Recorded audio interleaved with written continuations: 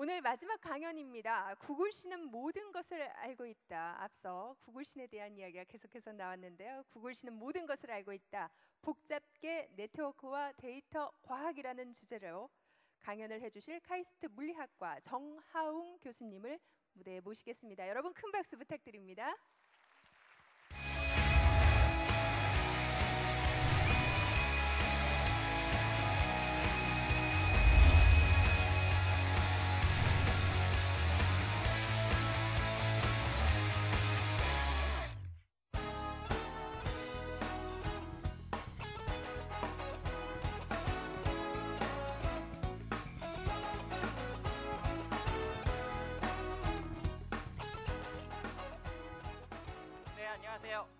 방금 소개받은 카이스트 물리학과의 정하웅입니다. 힘드시죠? 이제 지칠 때도 됐죠? 공부 많이 했죠? 이제 공부는 충분히 한 것 같고요. 저는 강연을 하러 나온 게 아닙니다. 저는 저는 공연을 하러 나왔는데요. 저걸 바꿔야 되겠네요. 이거 말고 그쪽으로 갈게요.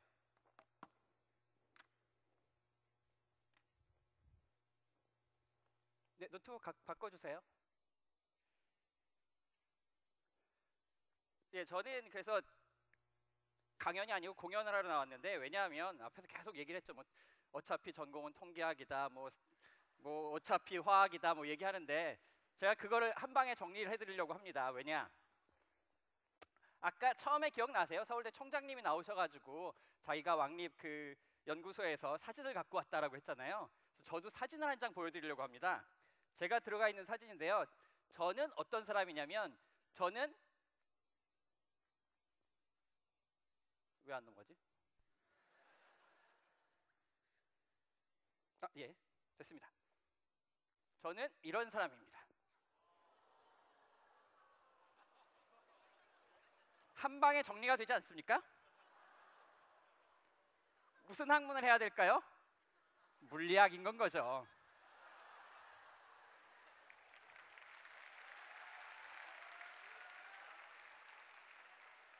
자, 이게 누군지 아시죠? 여기 학생분들은 아실 텐데 뭐 여기 선생님들이나 그 부모님들은 잘 모르실까봐 저기 맨 왼쪽에 보시면 정은지라고 응답하라 오리지널 시리즈에 나왔던 에이핑크입니다. 제가 이 사진을 좋아하는 이유는 제가 무슨 에이핑크한테 사인을 받았다는 게 아닙니다. 저는 에이핑크한테 제 강의를 하고 제 책에 사인을 해서 줬습니다. 제가 그런 사람입니다. 다시 한번.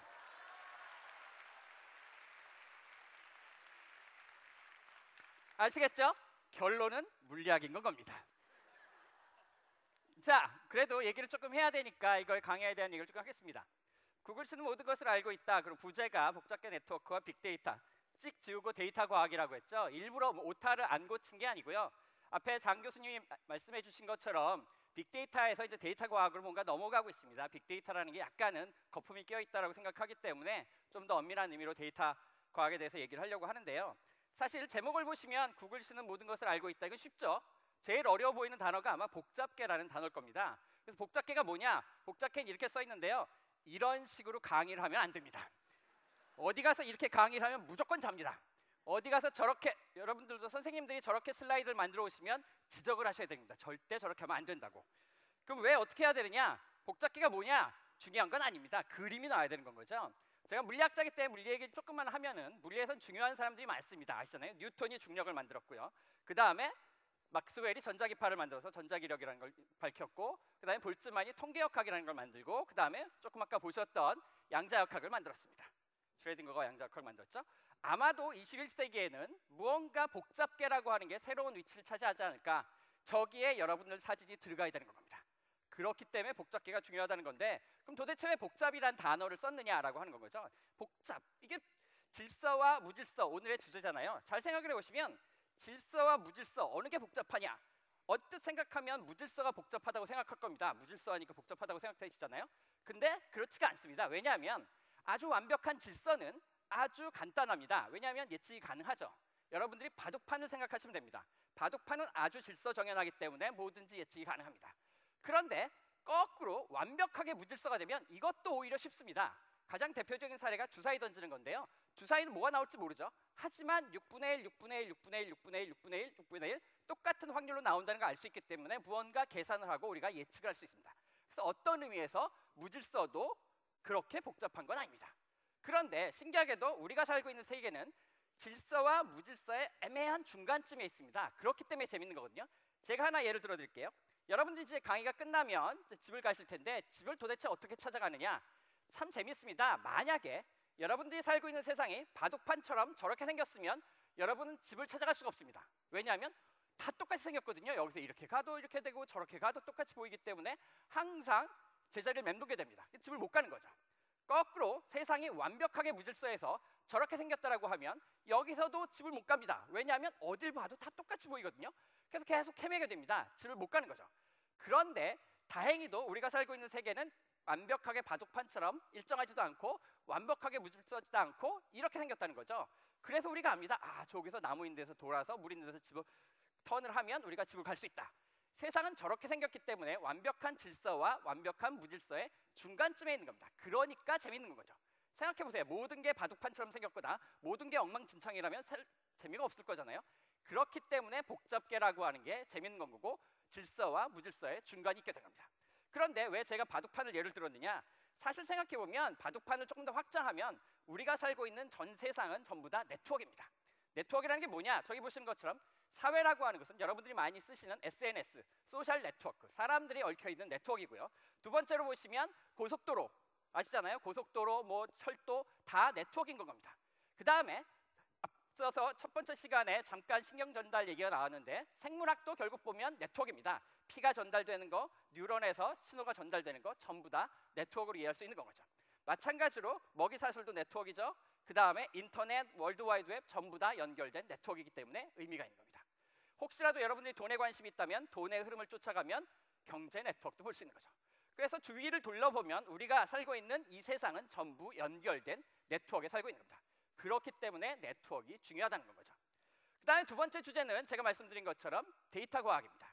데이터 과학 얘기를 해야 되는데 빅데이터 정말 중요합니다. 네이처 사이언스라고 하는 중요한 잡지에서 매번 특집 기사를 냅니다. 중요하다고. 그리고 뭐 앞서서 설명을 해주셨지만 간단하게 3V 또는 요즘 4V라고 하는데 세 개의 V와 1C라고 하는 것으로 정의가 됩니다. 자, 볼륨, velocity, variety, value 이렇게 되어 있는데요. 볼륨은 무지무지 많다는 겁니다. 그러니까 우리가 빅데이터라고 얘기를 하는 건 거죠. 근데 이게 많기만 해서 중요한 게 아닌 건 거고요. 이렇습니다. 뭐 이거 아시는 분은 아시는데요. 요즘 번역을 해보면 한글을 영어로 번역하면 잘 안 나옵니다. 이상한 발번역이 나오죠. 근데 신기하게도 한글을 일어로 번역했다가 일어를 영어로 번역하면 훨씬 더 매끈하게 잘 나옵니다. 이게 왜 이렇게 되느냐? 혹자는 이게 이제 일본에서 많은 야동이 쏟아져 나와서 네티즌들이 자발적으로 자막을 번역을 해가지고 많은 자료가 있기 때문에 그렇다라는 얘기가 있거든요. 그러니까 자료가 많으면 정확해진다는 거죠. 그게 이제 빅데이터가 갖는 의미입니다. 그다음 velocity 정말 빨리 생성이 됩니다. 얼만큼 빨리 생성이 되느냐? 요즘 아시다시피 트위터나 유튜브에 어마어마한 속도로 자료가 올라오거든요. 어마어마하게 속도로 올라오기 때문에 어마어마하게 빨리 분석을 해야 됩니다. 그래서 속도가 되게 중요한 관건이 되는 거고요. 또 하나 버라이어티 정말 다양한 데이터가 있습니다. 옛날에는 숫자와 문자만 데이터라고 생각했는데 요즘은 아시다시피 IoT라고 사물 인터넷 시대가 되면 모든 것들이 서로 데이터를 만들어낼 겁니다. 그림일 수도 있고요, 신호일 수도 있고, 동영상일 수도 있고, 음악일 수도 있고, 별의별 종류의 다양한 그러한 자료가 있기 때문에 variety가 되게 중요하게 되는 겁니다. 그리고 마지막으로 이제 value라고 하는 이런 데이터를 그냥 쳐다보는 게 아니라 거기서 중요한 가치를 뽑아내야 되는 거죠. 근데 C 이게 쉬운 일은 아닙니다. 점점 복잡해지고 있거든요. 그런데 그러면 이런 빅데이터를 요즘에 이제 최근에 잡지 제목 중에 하나 나온 게 있는데요. 저기 보시면 잡지 제목이 아주 도발적입니다. 과연 데이터가 새로운 신이냐? 제가 구글 신이라고 말씀드렸는데 정말 신이 될 수 있느냐? 이거에 대해서 조금 이따 답을 드리도록 하겠습니다. 예를 들면 이렇게 됩니다. 빅데이터에서 누가 제일 잘하느냐? 당연히 제목에서 봤듯이 구글입니다. 당연히 구글이 잘하는데 그걸 단적인 예로 하나 보여드리면 여러분들이 쓰는 서비스 중에 구글이 검색 엔진 말고 다른 것도 많이 하죠. 예를 들면 지도 서비스라는 게 있습니다. 어, 여러분 뭐 지도 서비스 하면 어, 나 네이버 지도 쓰는데 하실 텐데요. 네이버 지도에는 치명적인 단점이 하나 있습니다. 이따가 해보시면 아시는데요. 네이버에다가 청와대를 검색하면 청와대가 안 나옵니다. 여기 보시면 저기 중간쯤에 청와대가 있어야 되는 거거든요. 근데 저렇게 파랗게 숲으로 덮여 있습니다. 심지어 네이버에 검색을 해보면 1번 주소로 나오는 걸 보시면 대전광역시 동구 홍도동이라고 합니다. 청와대가 왜 대전에 있을까요? 카이스트가 대전에 있어서 제가 한번 가봤더니 음식점입니다. 그러니까 네이버한테 청와대는 음식점입니다. 그러면 다음 지도에는 나오느냐? 아닙니다. 다음 지도에도 저렇게 보시는 것처럼 이상하게 포토샵으로 처리가 되어 있습니다. 이게 뭐 보안 때문에 이렇게 된다고 하는 게뭐뭐 얘기인데요. 웃긴 게 구글 지도에 치면 그냥 나옵니다. 도대체 뭐하러 이러는 걸까요? 왜 이런 쓸데없는 포토샵을 시키는 걸까요? 더 재밌는 것 심지어 보시면요 더 재미난 건 뭐냐면 이게 이제 제가 말씀드린 건 아닌 거고 다음에서 오신 분이 알려주신 건데 그 IT 업계에서 뭘 하려고 하면 쓸데없는 규제가 많다는 걸 보여주는 단적인 사례인 거죠. 뭐 하려고 하면 저기다 이렇게 포토샵으로 저렇게 칠해서 가려라라고 하는데 이 사람은 꼼수가 있습니다. 이분은 똑똑한 사람이라서 청와대를 검색하면 안 나오거든요. 잘 보이실지 모르겠는데 저 위에 보시면 농협 청와대 지점이라고 검색하면 여기로 나온답니다. 그러니까 청와대를 검색하시면 안 되고요. 농협 청와대 지점을 검색하시면 어딘지 알 수 있는 건 거죠. 자, 이래가지고 보완이 될까요? 그냥 우리는 구글 지도를 쓰면 되는 겁니다.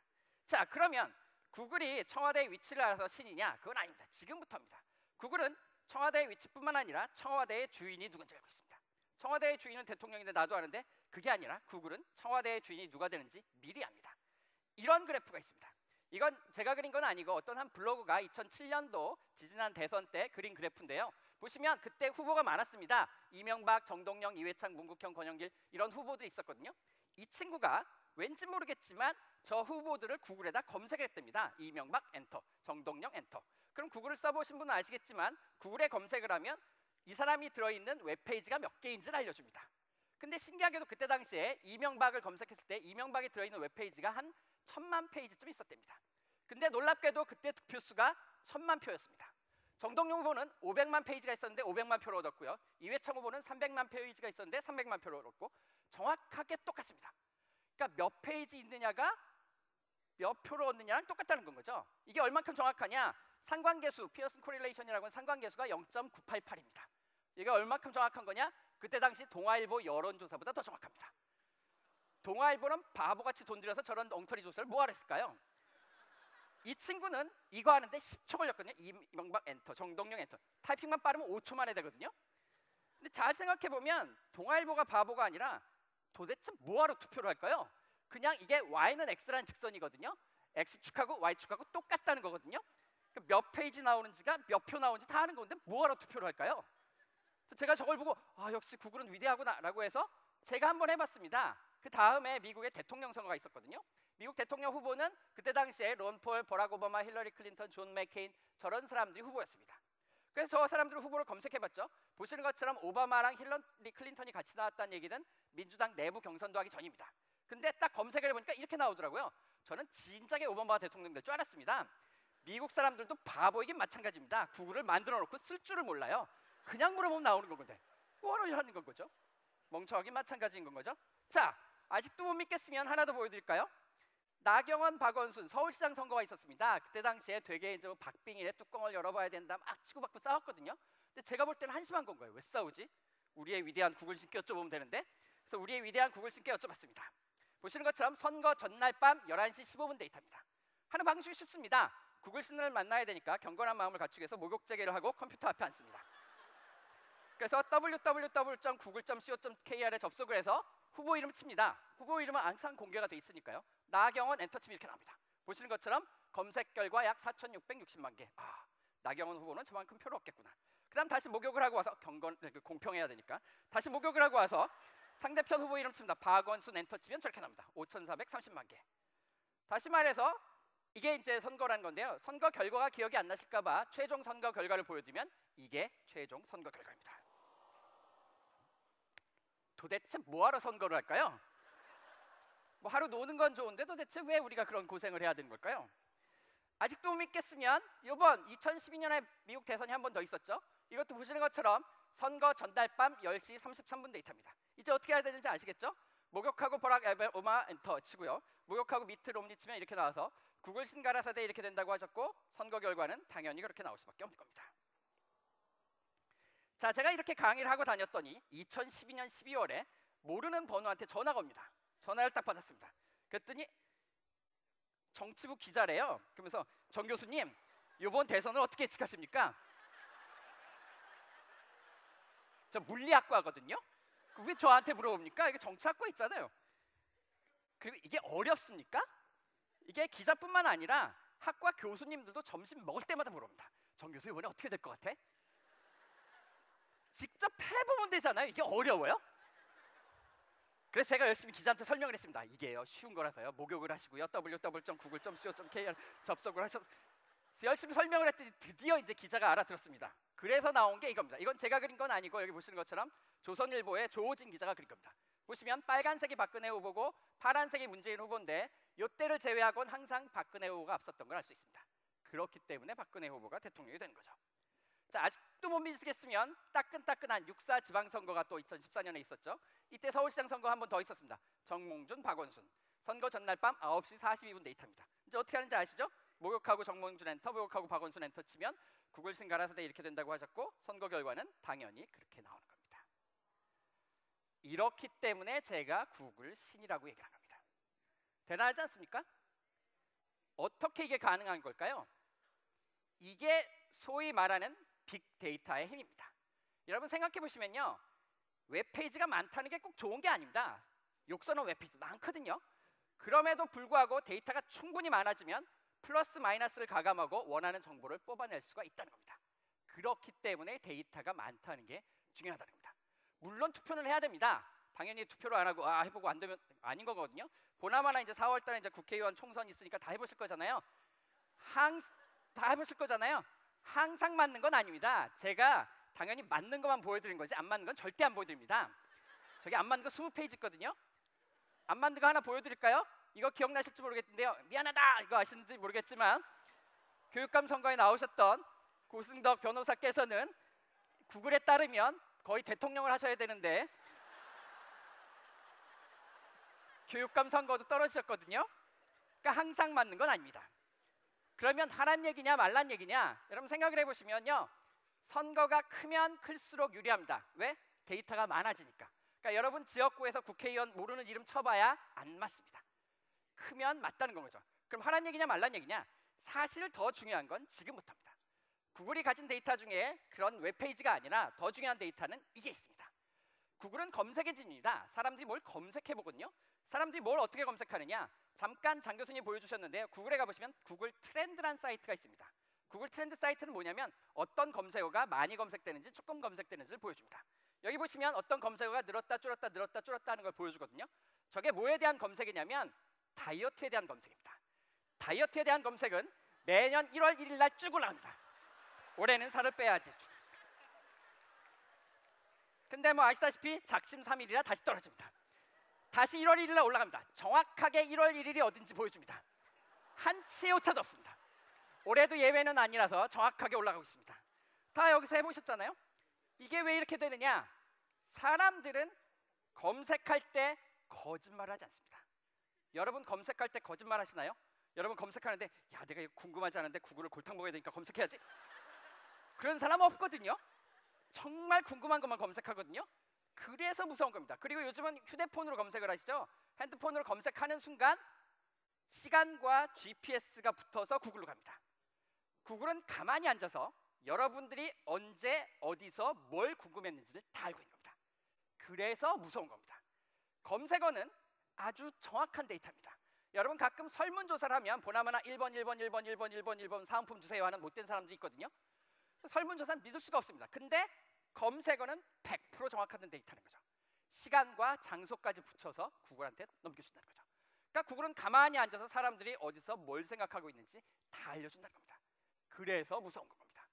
자, 그런데 그렇게 되면 구글이 이걸 가지고 뭘 하느냐? 이런 걸 합니다. 아까 장 교수님이 잠깐 설명을 해주셨는데요.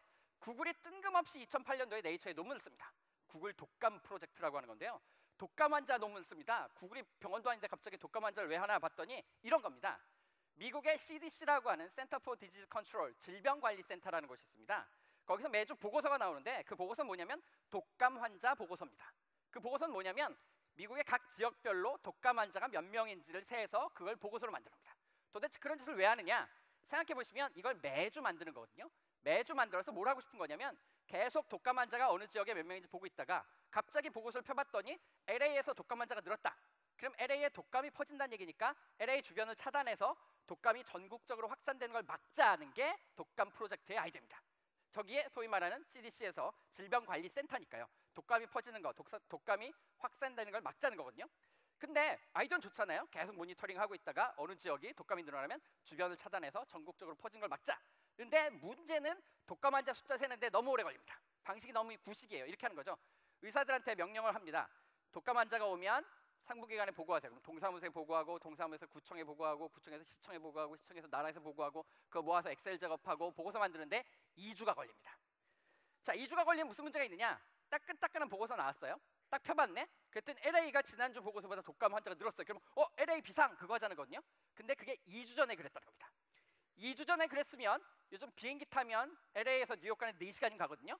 다 퍼져서 다 죽고 끝난 게임이라는 거죠. 그러니까 아무짝에도 쓸모없는 보고서가 되는 겁니다. 전형적인 탁상 항쟁이 되는 건 거죠. 그러니까 구글이 보고 있으니까 한심한 건 거예요. 이거 뭐야? 그래가지고 비켜 우리가 할게. 왜? 우리는 검색 엔진이라는 게 있다는 거죠. 뭐냐? 보나마나 사람들은 독감에 걸리면 독감을 검색할 거라는 거죠. 여러분 마찬가지잖아요. 독감 걸리면 기침, 고열, 무슨 약 먹어야 되지? 그걸 검색할 거라는 거죠. 그래서 구글은 어떻게 했느냐? 2003년부터 2007년까지 먼지 쌓인 보고서를 쫙 펼쳐놓고 자기네 검색 엔진과 비교를 합니다. 그래서 독감 걸린 독감 환자 숫자랑 제일 잘 맞는 검색어 뭔지를 뽑아냅니다. 그걸 가지고 이렇게 예측합니다. 앞에 거는 학습 데이터니까 보실 필요 없고 여기 2008년도만 보시면 되는데요. 파란색이 실제 환자 숫자고 노란색이 구글이 예측한 겁니다. 정확하게 맞습니다. 그리고 더 중요한 건 이건 2주가 안 걸립니다. 그냥 구글에다 걸어놓으면 되기 때문에 실시간으로 말씀드린 것처럼 GPS와 IP 어드레스를 보면 이게 어디서 온 검색인지 알 수 있기 때문에 갑자기 LA에서 구글 독감 검색이 늘어난다? 그럼 거기에 독감 환자가 많다는 걸 바로 경고를 할 수 있다는 거죠. 2주가 안 걸리기 때문에 실시간으로 경고를 해줄 수 있고 이게 구글 독감 프로젝트의 성공적인 사례라는 겁니다. 왜? 사람들은 검색할 때 거짓말하지 않기 때문에. 자, 사실 생각을 해보시면 구글이 이걸 착한 일에 썼으니까 논문을 썼죠. 사실 구글이 이걸 가지고 돈을 벌려고 맘만 먹으면 얼마든지 벌 수 있습니다. 생각해 볼까요? 구글이 앉아서 딱 봤더니 갑자기 뉴욕에서 코카콜라 검색이 늘어나요. 코카콜라 갖다 팔면 됩니다. 갑자기 봤더니 시카고에서 부동산 검색이 늘어나요. 부동산 투자를 하면 됩니다. 왜? 구글은 가만히 앉아서 여러분들이 언제 어디서 무슨 생각을 하는지 다 알고 있기 때문에 그냥 거기다 갖다 주면 돈이 벌릴 수밖에 없는 거죠. 자 이렇게 얘기하면 구글이 무서워서 구글을 안 쓰실까봐 안심을 시켜드리면 이러한 구글 독감 프로젝트가 독감 환자를 잘 맞추다가 2013년도에 실패를 합니다. 실패했다는 얘기는 독감 환자 숫자를 잘 예측하다가 틀렸어요. 그러니까 독감 환자 숫자를 못 맞췄는데 뭐 한 10%쯤 틀리면 오차 범위 내에서 뭐 그럴 수도 있지 하는데 200%를 틀렸습니다. 무슨 얘기냐? 잘 맞추고 있었거든요. 잘 맞추고 있었는데 2013년 초에 실제 환자 숫자가 600만 명이었는데 구글이 1200만 명이라고 두 배로 잘못 예측을 합니다. 구글이 깜짝 놀라가지고 프로그램을 세우고 뭐가 잘못됐는지 찾아봤습니다. 그랬더니 문제점이 발견됐습니다. 무슨 문제점이 발견됐냐면 언론의 힘입니다. 2013년 초에 미국에서 무슨 일이 벌어졌냐면 그때 당시에 미국에서 독감 백신 품귀 현상이 벌어졌습니다. 그러니까 독감 백신이 모자란 건 거예요. 뭐 독감 백신이 모자랄 수도 있는데 문제는 뭐냐면 미국의 대표 언론인 CNN하고 뉴욕 타임즈에서 매일 대석 TP를 한 겁니다. 독감 백신 모자란다. 대, 독감 백신이 모자라요. 독감 백신이 모자라요 하니까 사람들이 걱정이 되는 겁니다. 원래는요 독감 걸린 사람만 독감을 검색해야 되는데 독감 뉴스가 하도 나오니까 어나 아직 독감 백신 안 맞았는데 어디서 독감 그러니까 독감 걸린 사람만 독감을 검색해야 되는데 독감 백신 뉴스 때문에 독감 안 걸린 사람이 독감을 검색하는 겁니다. 그러니까 구글의 입장에선 갑자기 독감 검색이 들어가니까 독감 환자가 많다고 판단했는데 실제로는 그 중에 절반만 독감 환자고 나머지는 독감 백신 때문에 검색했다는 거죠. 그래서 여기 할 수 있는 교훈이 뭐냐면 내용 검토 없이 숫자만 맹신했다간 큰 코 다칠 수 있다는 겁니다. 저렇게 잘못 예측할 수 있다는 거죠. 그렇기 때문에 다시 한번 말씀하시지만 투표는 해야 되는 겁니다. 안 맞으면 이렇게 될 수 있다는 건 거죠. 그럼 뭐 하란 얘기야 말란 얘기 그래서 어쩌라고 해결책을 알려드려야 되죠. 그래서 해결책이 이겁니다. 자 이것도 어떤 검색어가 늘었다 줄었다 하는 걸 보여주는 건데요. 이거는 아마 여학생들이 관심 있을 텐데 사실은 남학생들이 보셔야 되는 검색어인데요. 뭐냐면 명품 백에 대한 검색입니다. 파란색은 샤넬 백이고요. 빨간색은 루이비통 백이고요. 노란색은 구찌 백입니다. 잘 보시면 옛날에 파란색 샤넬 백이 별로였거든요. 근데 쫙 치고 올라가서 지금은 샤넬 백이 1등입니다. 그렇기 때문에 여자친구한테는 샤넬 백을 사줘야 되는 거죠. 1등을 사줘야 되는 거거든요. 구글 사이트에 가면 예측도 해줍니다. 앞으로도 샤넬을 계속 잘 나갈 거랍니다. 자 이렇게 얘기를 하면 어 누가 손을 들고 질문합니다. 아, 앞 페이지에서 괜히 숫자만 맹신하면 잘못되는 거 아니냐? 요즘 뉴스에서 뭐 샤넬 재테크니 해가지고 나오니까 괜히 거품이 낀 거 아니에요? 이렇게 물어볼 수 있습니다. 그럴 수 있습니다. 그럼 그걸 어떻게 해결하느냐? 그때 필요한 게 뭐냐면 제가 앞부분에 설명드렸던 네트워크입니다. 무슨 얘기냐? 연관 검색어라는 게 있습니다. 여러분 연관 검색어 뭔지 아시죠? 어떤 사람이 이걸 검색하는 사람이 또 뭘 같이 검색하느냐는 거거든요. 신기하게도 연관 검색어를 볼까요?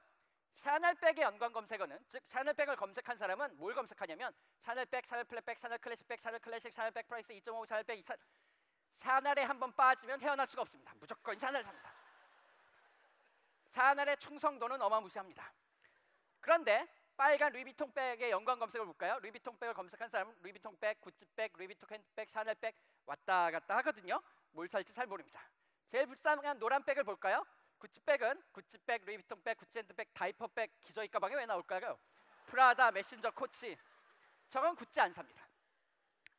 여기서 보는 것처럼 이렇게 생각하시면 되는 겁니다. 샤넬 백이란 단어 하나는 흔들릴 수 있습니다. 그래서 왔다 갔다 할 수 있죠. 하지만 연관 검색어 몽땅이 저렇게 되느냐? 그렇지 않다는 거죠. 물리학적으로 말씀드리면 샤넬 백이라고 하는 것은 단어 하나는 가볍습니다. 그러니까 바람에 흔들릴 수 있습니다. 근데 10개를 묶으면 무거워집니다. 무거우면 안 흔들려지는 거거든요. 그래서 훨씬 더 정확한 정보를 볼 수 있다는 거죠. 그래서 여러분들은 어떻게 해야 되는 거냐? 데이터를 묶어서 보셔야 된다는 겁니다. 네트워크로 묶어서 봐야 된다는 거죠. 이거서 묶어서 본다는 게 별거 아닌 것 같지만 이런 것도 할 수 있습니다. 이건 카이스트의 차미영 교수님이 한 연구인데요. 여러분 요즘 뭐 카톡이나 트위터에서 뭐 퍼지는 거 보면 이게 거짓말인지 사실인지 헛소문인지 알 수가 없잖아요. 근데 신기하게도 여기 보시면 이 왼쪽은요 거짓말이 퍼지는 리트윗되는 패턴이고요. 오른쪽은 진실이 퍼지는 패턴입니다. 두 개를 보시면 진실은 쫙 뭉쳐서 연결돼서 무겁게 퍼지고요. 가짜인 거짓말은 조각조각 흩어져서 가볍게 퍼집니다. 그러니까 아주 초기에 날수 없지만 어느 정도 퍼진 다음에 이게 가볍게 퍼졌는지 묵직하게 퍼졌는지를 보면 90%의 확률로 이게 거짓말인지 진짜인지를 판단할 수 있다는 겁니다. 왜? 데이터를 묶어서 보면 사실의 진위 여부도 판단할 수 있다는 거죠. 그렇기 때문에 데이터를 묶어서 보셔야 된다는 겁니다. 자, 구글 얘기를 조금 더 할까요? 뭐 인문학 얘기를 좀 해볼까요? 오늘 다 이과 얘기만 나오니까. 구글은요 돈이 많습니다. 진짜 많습니다. 여러분들이 상상할 수 없을 정도로 많습니다. 그래서 이런 일이 가능한데요. 구글이요 집행부에서 모여가지고 회의를 합니다. 야 우리 돈이 많은데 어떡하지? 어씨 돈 써야 되는데 큰일 났는데 누가 용감하게 손을 들고 얘기를 합니다. 어 그래요? 우리 돈 그러면 우리 돈도 많은데 전 세계 나온 책을 다 스캔합시다. 라고 아이들 냅니다. 그러니까 어 그래? 돈도 많이 들고 좋겠다. 그래 하자. 라고 해가지고 구글이 이제 스캐너를 잔뜩 사다가 페이지를 자동으로 넘기는 기계까지 만들어가지고 전 세계 나온 책을 스캔하기 시작합니다. 그게 소위 말하는 구글 북 프로젝트라고 하는 겁니다. 막 스캔을 했거든요. 그리고 이제 짜잔 하고 발표를 하려고 했어요. 그랬더니 문제가 생겼습니다. 무슨 문제가 생겼냐면 딱 구글 북 프로젝트하고 짜잔 하려고 봤더니 저작권이라는 게 있습니다. 생각해 보세요. 구글이 다 스캔해가지고 공짜로 풀어버리면 출판사하고 저자는 뭐 먹고 살아요? 미국 저작권 옆에서 말도 안 되도 막 난리를 쳤습니다. 구글이 생각해 보니까 어 그러네. 어떡하지? 괜찮아 우린 돈이 많으니까 하고 창고에 처박아뒀습니다. 쿨하거든요. 돈이 많으니까. 그래서 이제 창고에서 잠들고 있었는데 미국의 한 수학 교수가 그 얘기를 듣고 구글에 찾아가 가지고 어, 너네 이런 데이터가 있다며? 그거 나 좀 줄래? 나 논문 좀 쓰게? 그랬더니 아 안돼. 저작권 때문에 안 된대. 그랬더니 어 저작권 안 걸리게 쓸게. 어떡할 건데? 이 사람들이 생각해 보시면요 저작권이라는 거 이렇게 표절도 아시다시피 단어가 연결돼서 문장이 되면 문제가 되는 거거든요. 그래서 이 사람들은 어떻게 했냐면 책을 다 잘랐습니다. 실제로 잘랐다는 게 아니라 문장을 쪼개서 단어로만 뽑았습니다. 그리고 단어를 연결하면 안 되기 때문에 단어의 숫자만 셌습니다 어떤 책에 애플이란 단어가 몇 번 나오는지 컴퓨터란 단어가 몇 번 나오는지 데이터란 단어가 몇 번 나오는지 그 통계를 냅니다. 그리고 그걸 연도별로 그립니다. 그러면 이런 그림을 볼 수가 있습니다. 여기 보시면 이건 slavery라고 하는 노예라는 단어거든요. 노예라는 단어가 각 연도별로 책에 몇 번 나오는지를 보여주는데 여기 보시는 것처럼 안 나오다가 많이 나오다 안 나오다 많이 나오다 안 나오다가 이렇게 올라갔다 내려갔다 합니다. 그럼 도대체 왜 이 당시에 노예라는 단어가 많이 나왔냐 봤더니 저때 당시가 남북 전쟁이 있었습니다 남북 전쟁이 있었을 테니까 사람들이 관심이 많아서 노예라는 걸 책에 많이 썼다는 거죠. 그럼 두 번째 이때는 왜 많이 나왔느냐? 저때 시민 운동이 있었을 때입니다. 그러니까 그때 관심이 있기 때문에 적혀있는 거죠. 저게 소위 말하는 단어의 숫자로부터 그때의 문화상을 읽어내는 컬처노믹스라고 하는 새로운 분야입니다. 단어의 숫자로부터 그때 사람들이 뭐에 관심이 있는지 알 수 있다는 건데요. 더 놀라운 건 뭐냐면 이거는요. 과거의 검색 엔진입니다. 생각해 보세요. 구글은요. 검색 엔진을 통해서 여러분들이 지금 무슨 생각을 하는지 다 알고 있습니다. 그럼에도 불구하고 구글은 1990년대에 나왔기 때문에 옛날 사람들이 뭘 생각하는지 알 수는 없었다는 건 거죠. 그러니까 구글은 옛날로 타임머신을 만들면 돌아가서 검색 엔진을 만들겠지만 옛날은 모르겠는데 잘 생각해 보시면 만약에 옛날에 검색 엔진이 있었으면 저때 당시 사람들은 노예를 많이 검색했을 거야 라는 거랑 딱 맞는다는 거죠. 그래서 구글 데이터와 검색 데이터를 연결하면 과거의 검색 엔진을 통해서 지금 생 사람들의 생각과 옛날 사람들의 생각을 다 읽어낼 수가 있다는 거죠. 그래서 무거운, 무서운 겁니다. 이게 단어 하나뿐만 아니라 단어 두 개를 비교하면 더 재밌습니다. 여기 보시는 것처럼 남자와 여자, 맨 우먼이거든요. 남자와 여자 누가 책에 많이 나오냐 보면 여기 보시는 것처럼 옛날에는 남자라는 단어가 책에 훨씬 더 많이 나왔습니다. 남성 우월주의. 아시다시피 여권 신장 운동을 많이 하셔서 놀랍게도 1980년대 이후로 여자라는 단어가 책에 더 많이 나옵니다. 이제는 그만하셔도 됩니다. 남자가 점점 불쌍해지고 있거든요. 요즘 텔레비 키시면 맨날 남자가 다 요리하잖아요. 다 이유가 있는 겁니다. 저희를 이제 살려주셔도 될 때가 됐습니다.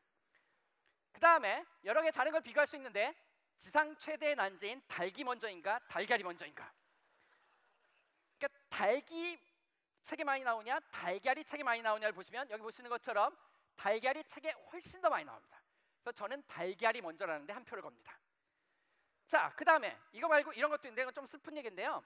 지옥 가라 천당 가라 이게 책에 누가 많이 나오냐 보면 옛날 사람들은 착했습니다. 천당 가라는 게 책에 많이 나왔거든요. 이게 신기하게도 1910년을 기점으로 지옥 가라는 게 책에 더 많이 나옵니다. 사람들이 점점 못돼지고 있는 겁니다. 여러분들이 혹시라도 책을 쓰시게 된다면 꼭 천당 가라는 걸 앞에 이제 써서 이걸 다시 뒤집어서 살기 좋은 사회를 만들어야 된다는 건 거죠. 자, 이런 예는 많습니다. 과학과 종교. 여기는 과학이니까 옛날은 종교가 짱이었죠. 근데 드디어 과학이 종교를 넘어서는 겁니다. 그 다음에 오늘의 주제인 데이터와 신. 옛날에는 데이터라는 단어 자체가 없었습니다. 신이 전부였죠. 그런데 드디어 데이터가 신을 넘어섰습니다. 그렇기 때문에 제가 구글 신이라고 말씀을 드린 겁니다. 왜 구글 신인지 아시겠죠?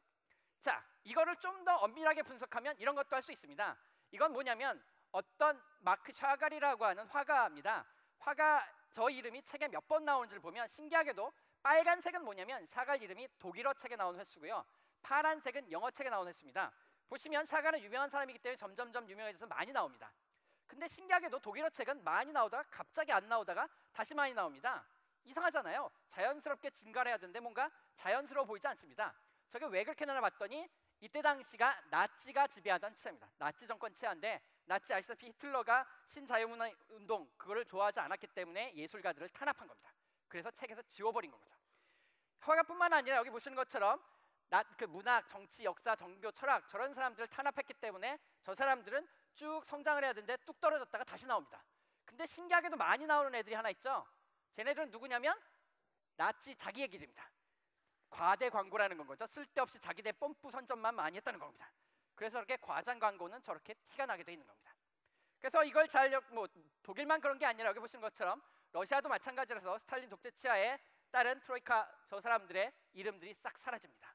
검열에 의해서 사라지게 된다는 거죠. 러시아뿐만 아니라 가장 대표적인 사례가 중국이죠. 중국에 천안문 사태가 있었어서 엄청난 이 역할을 했기 때문에 영어 책에는 어마어마하게 1980년 89년 이후로 천안문이라는 게 등장을 하는데 중국 책에는 거의 나오지 않습니다. 왜? 검열을 했기 때문에. 저런 식으로 단어 숫자를 봄으로써 그때 당시 어떤 일이 있었는지 문화별로 국가별로 비교를 해볼 수 있습니다. 그래서 인문학이라는 는 것도 이러한 식으로 바꿀 수가 있다는. 자, 여기에 이제 영어 때문에 고민하는 학생 많을 텐데요. 영어도 데이터를 이용하면 쉽게 할 수 있습니다. 이건 서울대학교 이상구 교수님이 하신 연구인데요. 영어 문법을 고치는 겁니다. 영어 문법 어렵거든요. 자, 근데 이렇게 하는 겁니다. 말씀드린 것처럼 구글은 데이터가 많습니다. 책도 다 스캔했고요. 웹페이지도 다 있기 때문에 통계를 냅니다. 무슨 통계를 내느냐? I라는 단어 다음에 뭐가 나오는지 봅니다. 봤더니 have라는 단어가 제일 많이 나옵니다. 그다음 두 번째로 많이 나온 단어는 do고요. can, want 저런 순서대로 단어가 나옵니다. 그 다음에 have라는 단어 다음에 not이 제일 많이 나오고 그 다음에 do가, to가 나오고 a가 나오고 더가 나오고 저렇게 됩니다. 그래서 저런 식으로 어떤 단어 다음엔 뭐가 제일 많이 나오는지를 다 통계를 알고 있습니다. 그렇기 때문에 이걸 갖고 이렇게 합니다. 문장이 하나 들어옵니다. I have candy. 그러면 구글이 봅니다. 이게 책에 몇 번 나오는지. 점수를 보니까 0.0014예요. 되게 짜 나가 낮아요. 그 얘기 무슨 얘기냐면 책에 많이 안 나왔다는 얘기고 그럼 뭐 틀렸다는 얘기입니다. 그럼 고쳐야죠. 여러분 같으면 저걸 문법적으로 고쳐야 되니까 문장의 삼형식이니까 뭐 재기적 용법이 어떻게 돼서 어쩌고 저쩌고 해야 되는데 구글은 그렇게 안 합니다. 구글은 쿨하거든요. 문법책은 난 모르겠고 틀렸어 보자. 뭐 틀렸는지. I라는 단어 어 I라는 단어 다음에 해부가 나와야 되고 맞는데 맞네. have 아이 틀렸네. have란 단어 다음에 not이 나와야지라고 해서 고칩니다. 어떻게? I have not candy로 고칩니다. 왜? have 다음에 not이 나와야 되거든요.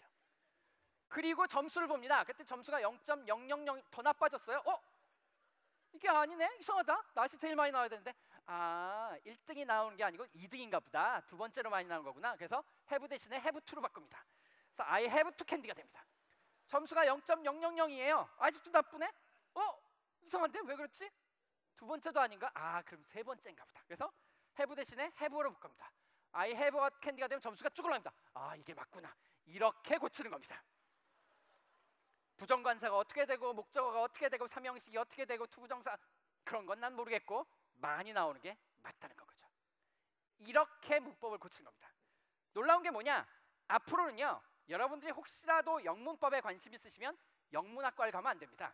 구글에 취직을 하셔야 되는 겁니다.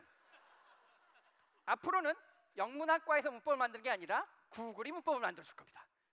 이게 거짓말이 아니라 생각을 해보시면 여러분들이 쓰시는 외계어가 많이 쓰시면 표준어가 되잖아요. 그게 문법 규칙에 맞아서 표준어가 되는 게 아니거든요. 그냥 많이 쓰니까 표준어가 되는 겁니다. 실제로 이러한 문법, 그러니까 구글이 앞으로는 만들어 줄 겁니다. 2016년 영문법, 2017년 영문법.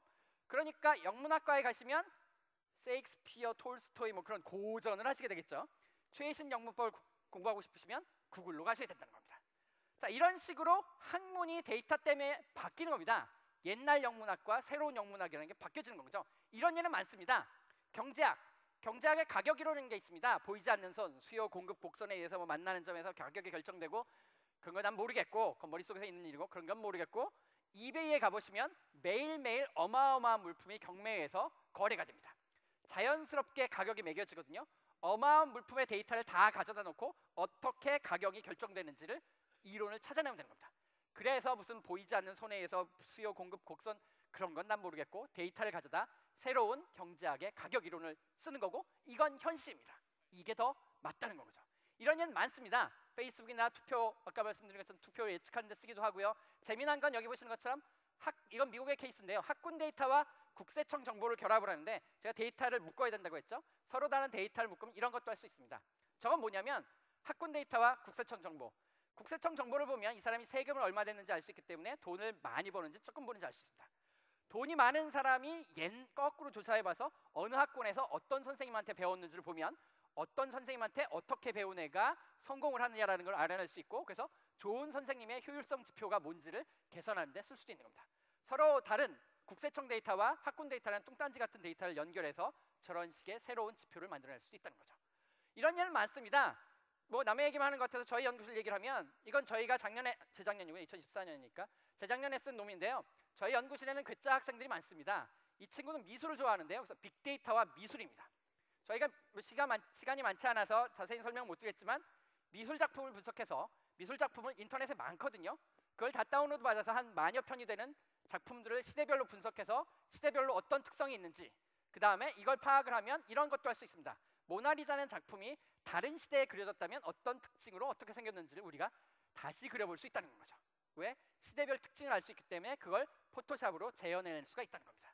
그래서 시대별로 모나리자가 어떻게 바뀌어야 되는지를 저희가 분석할 수 있었고 이런 논문도 쓰여져 있습니다. 이렇게 영역은 항상 확장이 되는 겁니다. 확장이 되고 새로운 학문 분야가 늘어나게 되는 거죠. 그리고 마지막으로 언제나 그렇듯이 강의를 들었으면 뭔가 남는 게 있어야 되죠. 그래서 특별히 여러분들한테 제가 보통은 안 보여드리는 주식 투자 방법, 돈 버는 게 관심이 있으시잖아요. 그래서 구글을 이용해서 주식 투자하는 방법을 보여드리도록 하겠습니다. 어떻게 하는 거냐? 아까 장 교수님이 감성 분석을 한다고 했는데 이건 조금 더 쉬운 겁니다. 구글을 이용하는 건 거죠. 어떻게 하느냐? 마찬가지입니다. 어떤 단어가 검색이 늘었느냐 줄었느냐를 가지고 보는 겁니다.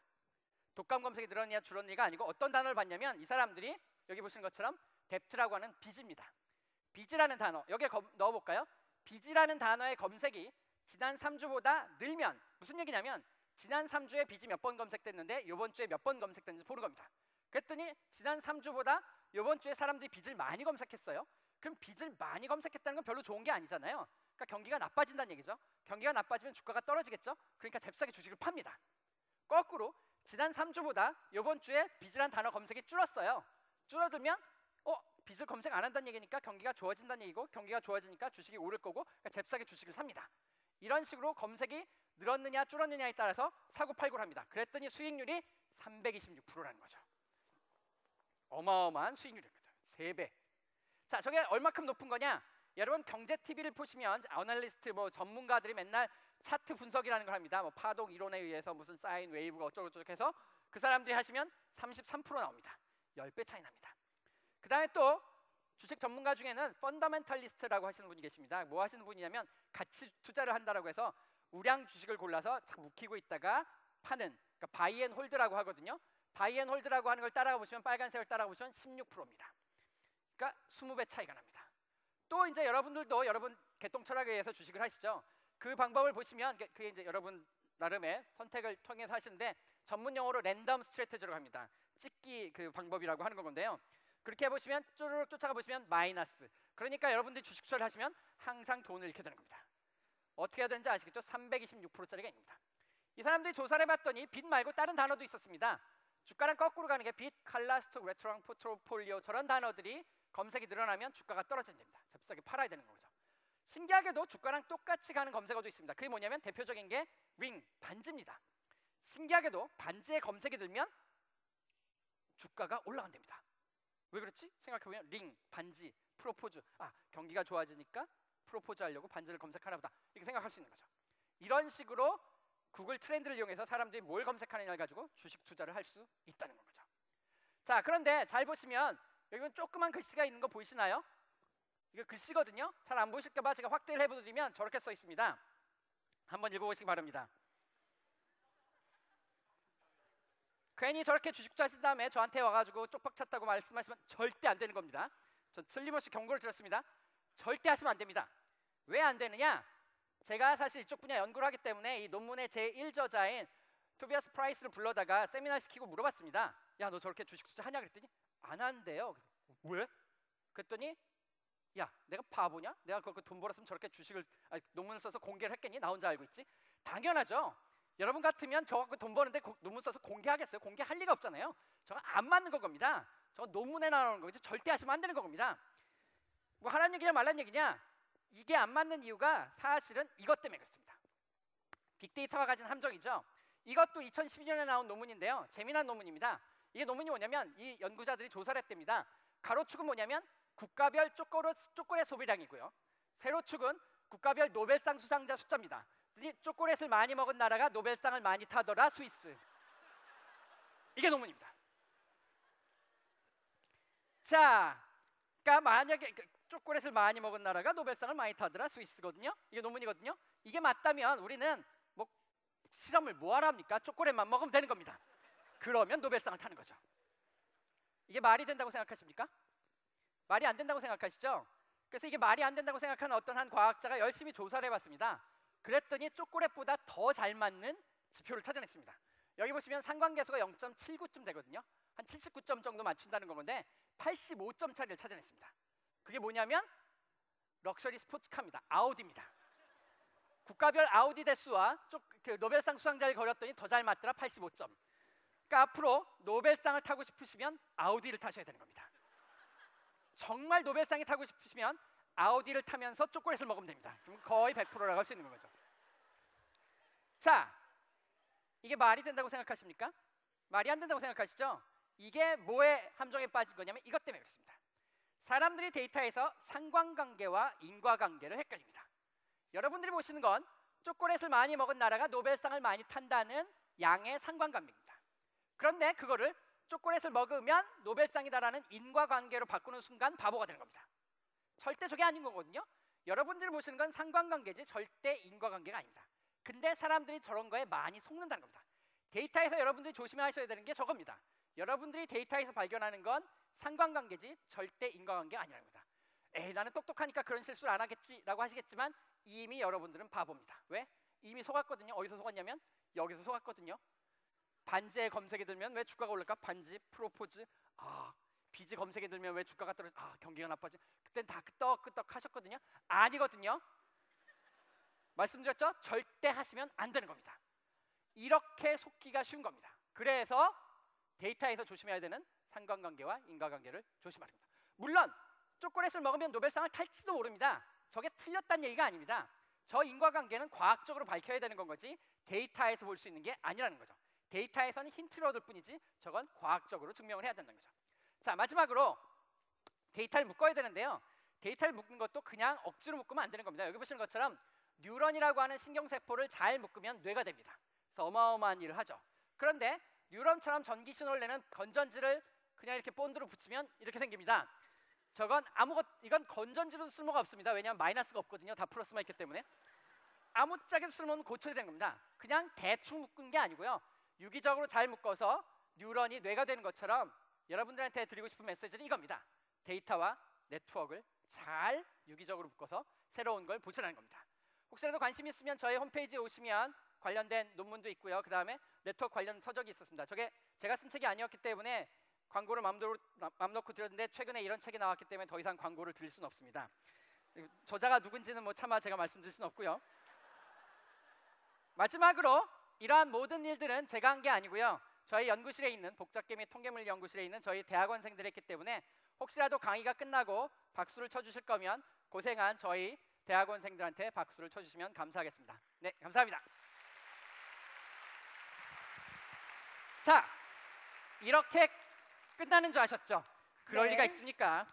마지막 강연인데 그럴 순 없죠. 놀라셨죠? 이거 네, 한번 해보고 싶어가지고. 네, 네. 저도 함께 듣는 네. 거고요. 자, 그래서 뭐 어쩌라고 언제나 답은 구글한테 물어보면 됩니다. 여러분들이 와 있는 자리가 어디죠? 그렇죠. 서울대 자연과학 공개 강연이잖아요. 여기 와 있는 거잖아요. 과학자의 꿈과 도전 얘기를 해야 되잖아요. 그래서 구글한테 물어봤습니다. 과학자 물어보면 과학자 이름 도대체 과학자 이름을 모르시겠어요? 오늘 많이 보셨죠? 이동환, 이성근, 장원철, 정하웅 최소한 네 명의 이름은 기, 기억하셔야 되는 겁니다. 꿈 꿈을 물으면 꿈은 언제나 해몽에 관심이 많습니다. 사람들이.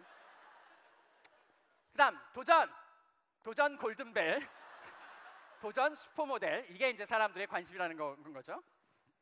아 그렇구나. 그러면 이제 근데 우리나라는 아시다시피 구글보다 네이버를 많이 쓰기 때문에 네이버 검색을 해보면 과학자 과학자가 하는 일 아 슬픕니다. 도대체 과학자가 하는 일을 모르시면 어떻게 되겠습니까? 여기 있는 분은 아시죠? 열심히 노력하셔야 되는 겁니다. 그 다음에 연관 검색어 유명한 과학자 여기 있잖아요. 그 다음에 과학자가 하는 일 과학자가 되려면 이런 데서 열심히 공부하시면 되는 건 거고요. 그 다음에 자 꿈과 도전 하시면 꿈과 도전, 꿈과 도전 그리고 열정 저런 단어들이 나오고 실제로 네이버 검색을 해보시면 과학자의 꿈과 도전을 검색해 보시면 여러분들이 와 있는 자연과학대학 공개 강좌가 나옵니다. 근데 네이버를 밑으로 내려보면 재미난 데이터가 있는데요. 뉴스 아카이브라는 게 있습니다. 네이버가 재밌게 하는 건데 이건 뭐냐면 1920년대 100년 전 신문부터 지금까지 모든 신문을 스캔해서 데이터베이스로 만들었습니다. 그래서 옛날에 꿈과 도전을 치면 뭐가 나온 과학자의 꿈과 도전을 치면 뭐가 나오는지 알 수 있습니다. 그래서 과학자의 꿈 조금 더 보여드릴까요? 이렇게 나옵니다. 한문이 많죠. 옛날에는 신문에 한문을 많이 썼거든요.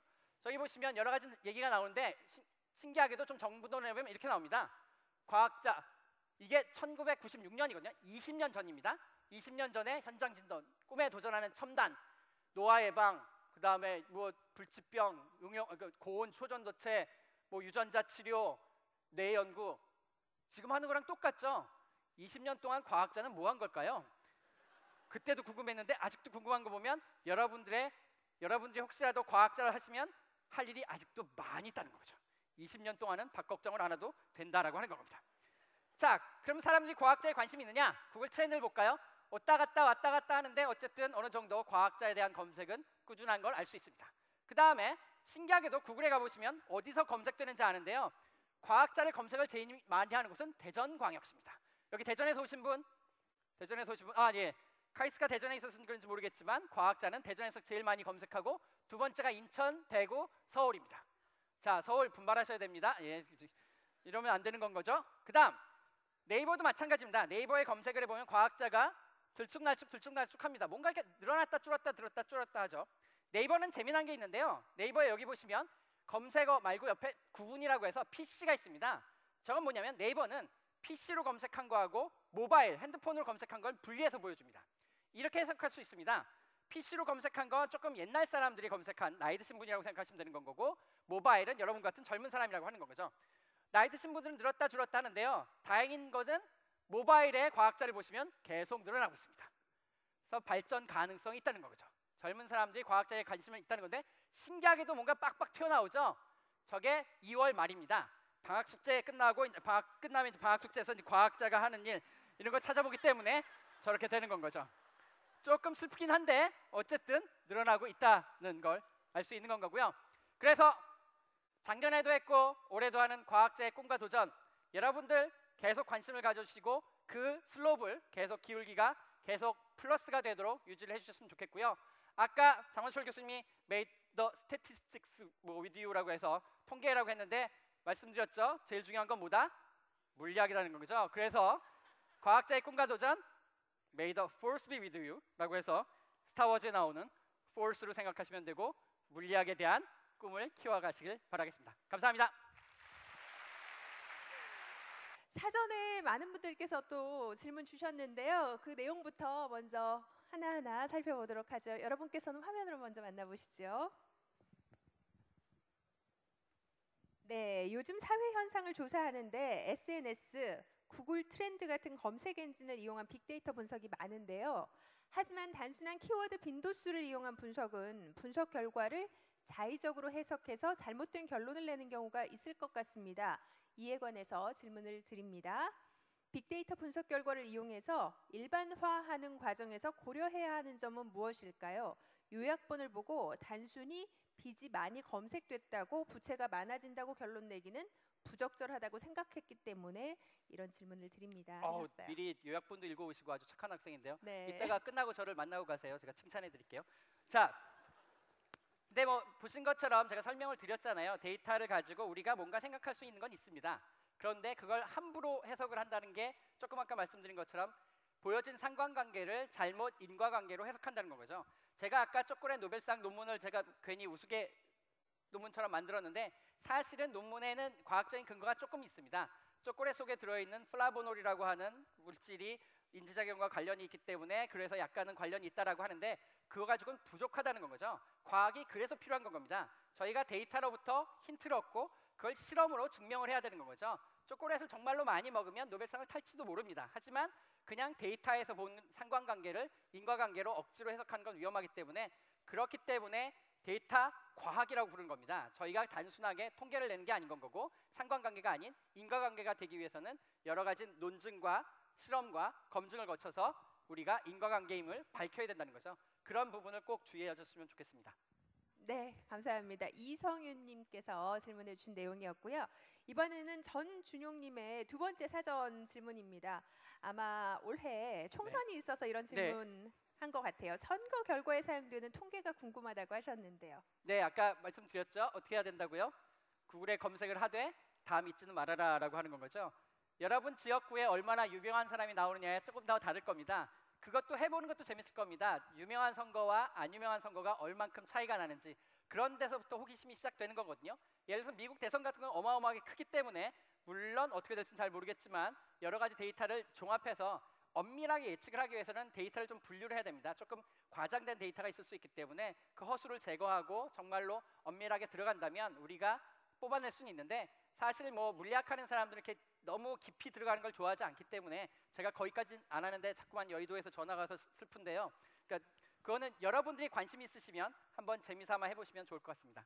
네, 저도 4월에 선거 방송을 아, 지금 그랬구나. 네. 해달라고 예 연락을 받았는데 그 전에 연락 한번 드리겠습니다. 네, 아니 궁금해서요. 목욕하시고 www.google.co 네.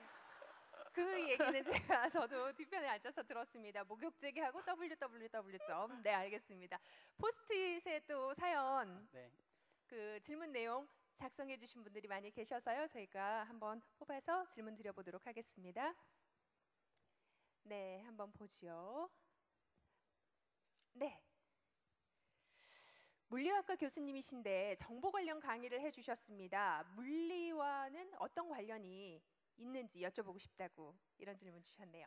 네, 물리학이라고 하는 것을 너무 좁게 생각을 하시는 것 같은데요. 생각을 해보시면 옛날에는 모든 과학이 물리학이었습니다. 그렇기 때문에 다시 한번 말씀드리지만 물리학과로 오시면 되는 건 거고요.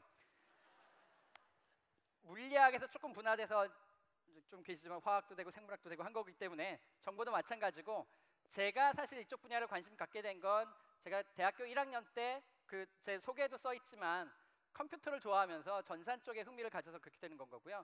제가 전공하는 분야는 통계 물리학이라고 불립니다. 통계 물리 및 전산 물리라고 하는 건데요. 컴퓨터를 사용을 해가지고 많은 수의 데이터를 다루는 또는 많은 수의 입자를 다루는 그런 연구를 하고 있기 때문에 자연스럽게 연결되는 거라고 생각을 하시면 됩니다. 제가 갑자기 빅데이터를 연구한 건 아니고요. 저희는 옛날부터 아보가드로 넘버라는 거 아시죠? 1몰 안에 들어있는 분자 수는 10의 23승계거든요.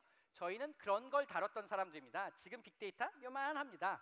그렇기 때문에 전혀 뚱딴지 같다라고 생각하시면 안 되는 건 거고요. 물리학은 모든 영역을 커버하는 아주 중요한 과학이라고 할 수 있습니다.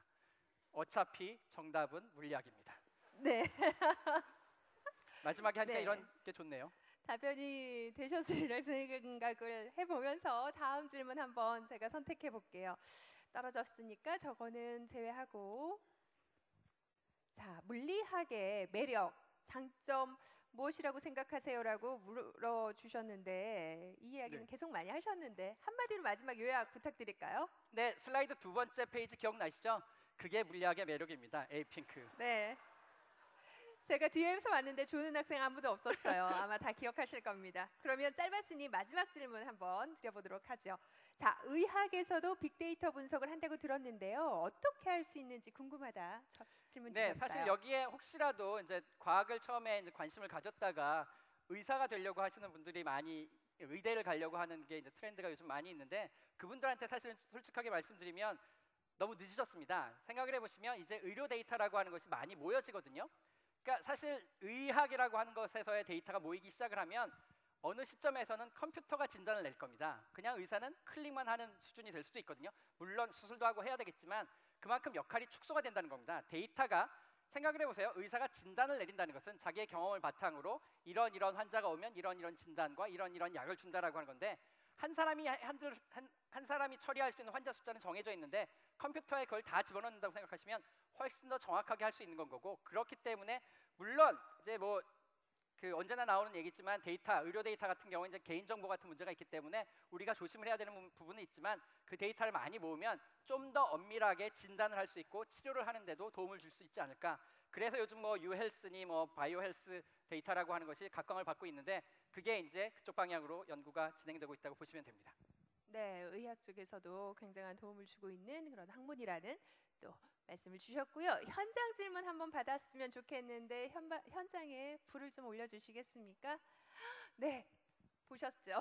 네. 네, 막 흔드셨어요. 네, 하얀 종이 말아서 쥐고 계신 저 뒤쪽에 계신 분에게 마이크를 전해 주실까요? 네, 참고로 에이핑크 전화번호는 여쭤보셔도 안 가르쳐 줍니다. 어, 어, 그, 그 강연은 정말 재밌게 잘 들었습니다. 감사합니다. 끝일까요? 제가 궁금했던 건 데이터를 분석할 때 그 데이터 간을 좀 묶어서 네트워크와 관련 네트워크를 이뤄서 분석한다고 말씀해 주셨는데 그 데이터를 묶는 방법이나 이런 것에 대해 질문 드리고 싶습니다. 네, 데이터 아까 말씀드린 것처럼 그냥 데이터를 이렇게 선으로 연결한다고 되는 건 아닌 건 거고요.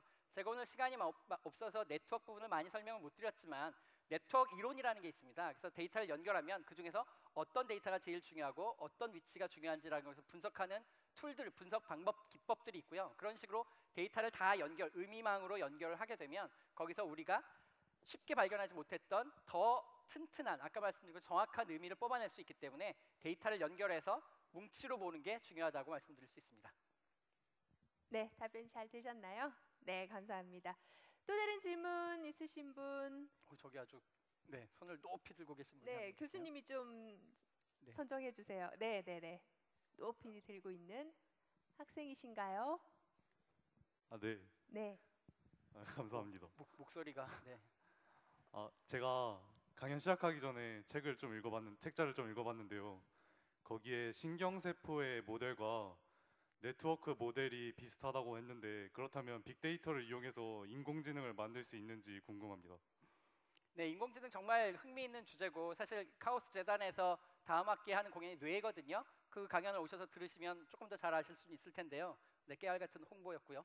그 다음에 그 신경망이라고 하는 것을 저희가 인공지능을 만든다라고 하는 프로젝트가 진행되고 있죠. 그 human 그 connectome이라고 해서 뇌에 뉴런들이 어떻게 연결되어 있는지를 다 연결해서 보자라고 하는 프로젝트가 진행됩니다. 근데 사실 그렇게 한다라고 해서 인공지능이 되는 건 아닙니다. 예를 들어서 여러분들이 뭐 CPU가 어떻게 되어 있는지 안다라고 해서 그게 어떻게 작동되는지를 알 수 있는 건 아니거든요.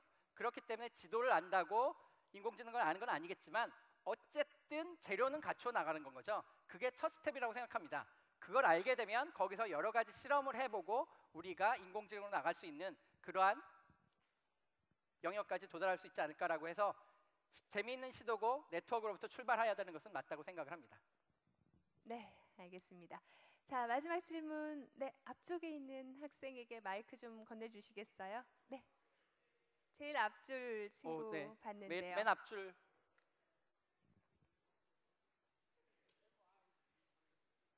아, 예, 안녕하세요. 저는 어, 데이터 과학에 관심 있는 어, 고등학교에 재학하고 있는 3학년 학생이고요. 그 제가 교수님께 여쭤보고 싶은 거는 그 오늘 교수님께서 강연해 주신 내용이랑 그 다음에 그 다른 방송에서 강연하셔가지고 그 책 쓰신 부분도 읽어봤는데 그 이 데이터 과학의 연구, 어, 이 데이터 과학이랑 뭐 각종 데이터들 뭐 분석하고 그런 거에 대해서 말씀해 주셨는데 이런 연구들이 갖는 의의 는 어떤 것이 있는지 궁금합니다. 네, 사실 과학이라고 하는 것은 언제나 호기심에서 출발하는 거잖아요. 그 뭐가 궁금하냐라고 하는 거죠. 옛날에 도대체 얘가 뭘로 만들어졌는지를 알기 위해서 현미경을 만들고 들여다봐서 원자가 나온 것처럼 지금 세상에서는 정말 많은 데이터들이 쏟아져 나오고 있습니다. 옛날보다는 훨씬 더 많은 데이터가 기록되고 있고요. 옛날엔 책에나 조금 적어뒀던 데이터인데 지금은 디지털 시대가 됐기 때문에 어마어마한 데이터가 많아졌잖아요. 그러니까 그걸 쳐다볼 수밖에 없는 겁니다. 그냥 쌓아두고 두- 필요는 없는 거잖아요. 그렇기 때문에 데이터 과학이라는 게 자연스럽게 떠오르는 건 거고 여기서 어떤 의의를 찾느냐? 언제나 궁금한 걸 풀고 싶은 겁니다. 저는 언제나 궁금한 게 많고요. 도대체 미술 작품이 어떻게 됐는지, 도대체 바하의 작품과 모차르트 작품은 어떻게 자- 다른지를 분석을 해보고 싶은 건 거예요. 왜? 데이터가 많기 때문에 물론 전문가들이 경험으로 알 수 있는 것도 있지만 저희가 데이터와 숫자와 과학이라는 tool을 통해서 연결을 하고 분석을 해보면 그 기존에 알고 있었지 못했던 그런 새로운 걸 알 수 있지 않을까라고 하는 호기심에서 뭔가 조금 더 알아나가는 학문이라는 게 그런 거잖아요. 조금씩 조금씩 새롭게 더 알아나가는 거기 때문에 데이터 과학도 결국은 그쪽 방향으로 갈 거라고 생각을 합니다. 네, 감사합니다. 궁금한 점 많으시겠지만 여기서 마무리할까 하는데요. 네. 교수님 오늘 공연 어떠셨습니까? 아, 네. 그 네. 재밌게 보셨나요? 네, 이제 덜 지루하시죠? 어, 아닌가 본데요? 그러면 조금 더 공연을 해볼까요? 제가 한번 해보고 싶은 게 있었는데 맨날 질문만 당하니까 제가 거꾸로 질문을 한번 해보는 건 어떨까요? 무슨 이건 사전에 없었던 네, 대본에 없는 거. 이렇게 해야 네네. 재밌는 거거든요. 네, 아나운서 분께서는